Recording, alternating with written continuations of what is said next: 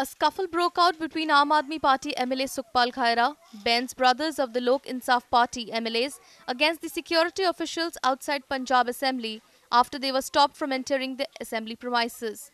Reportedly, the uproar took place after the MLAs were taken out of the house when they disrupted the assembly proceedings and rushed to Speaker KP Singh's podium. पहली बार पंजाब की विधानसभा के इतिहास में ये काला दिन जिसमें डेमोक्रेसी का मर्डर भी हुआ है, बलात्कार भी हुआ है, सिर्फ़ इसलिए क्योंकि स्पीकर जो है ना, वो पर्सनल रंजिश के ऊपर उतर आया मेंबर्स के साथ। क्योंकि कल बैंस साहब ने और मैंने एक इनके खिलाफ एफआईआर पेश कर दी थी, जहाँ स्पीकर का परिवार भी इलीगल माइनिंग माफिया का काम करता है। वो हमारे से इतना चढ़ गया कि आज हमारे को यहाँ बिल्डिंग या आप देख लें कितनी फोर्स लगा रखी है, हमारे को बिल्डिंग में जाने से भी रोक रहे हैं। ये ये ये इनके, जैसे बैन साहब ने कहा, ये इनकी कोई पर्सनल जायदाद नहीं है। हमने यहाँ पर इश्यूज़ उठाने थे। और हमारे साथ नहीं दुर्व्यवहार किया।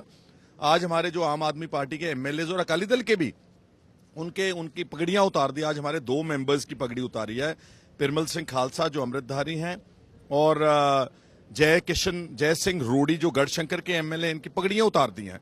औरतों को वहाँ मैन हैंडल किया गया। हमारे को यहाँ पर ये स्पीकर बोल रहा है कि हमने मैन हैंडल किया, ये उल्टा है।